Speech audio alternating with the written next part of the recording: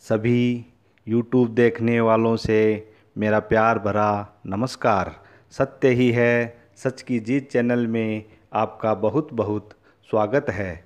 आज आपको अंजीर के दूध से शक्तिवर्धक शरीर को कैसे बनाया जाए, यह बताएँगे। यह नुस्खा बच्चों, बड़ों और बुज़ुर्गों के लिए तो बहुत ही लाभदायक होता है। तो शुरू करते हैं नुस्खा क्या है? रोज़ाना केवल दो तीन सूखे, अच्छी क्वालिटी के अंजीर खाकर ऊपर से 250 ग्राम दूध में मिश्री मिलाकर पीना अत्यंत ही शक्तिवर्धक होता है। लगातार दो तीन सप्ताह तक आप इसका प्रयोग कर सकते हैं। इससे कब्ज़ और खून की खराबी दूर होती है क्योंकि अंजीर कब्ज़नाशक, पित्तनाशक रक्त रोग निवारक, वायु विकार दूर करने वाला है। इसके सेवन से शरीर में हमेशा थकावट सी महसूस होना, नींद सी बनी रहना, किसी काम में मन नहीं लगना, इन सभी समस्याओं में लाभदायक होता है। अंजीर खून बढ़ाता है, बलगम निकालता है, रंग निखारता है। दमा, क्षय रोग में कफ की उत्पत्ति रोकने तथा शक्ति संवर्धन के लिए अंजीर का सेवन बहुत ही लाभदायक होता है। इसकी गुणवत्ता के कारण सभी अंजीर को बहुत ही ज़्यादा पसंद करते हैं। कमज़ोर दांत वालों को चाहिए कि इन सूखे अंजीरों को थोड़े से पानी में रात भर भिगोकर छोड़ दें।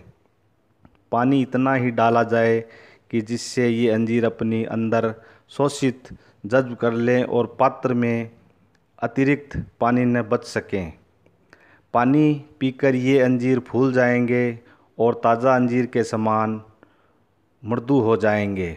दो तीन अंजीर प्रातः भिगोकर रात में खाने से और रात के भिगोए प्रातः खाने से हर प्रकार की बवासीर दूर हो जाती है। इसके लिए निरंतर एक महीने तक इसका सेवन करना चाहिए।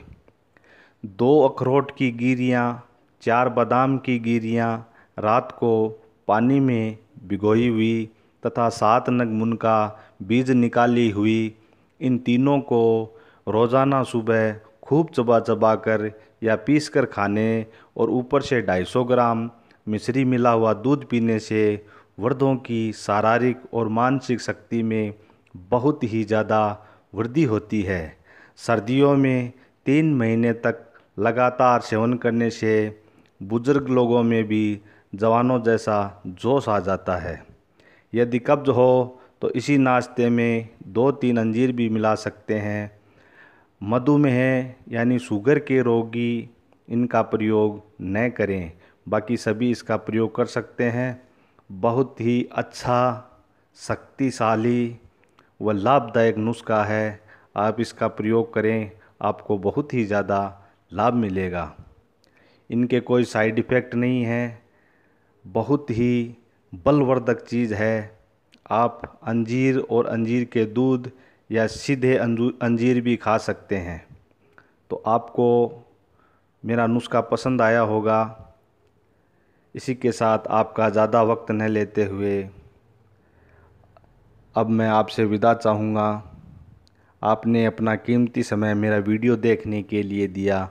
इसके लिए आपका बहुत बहुत धन्यवाद।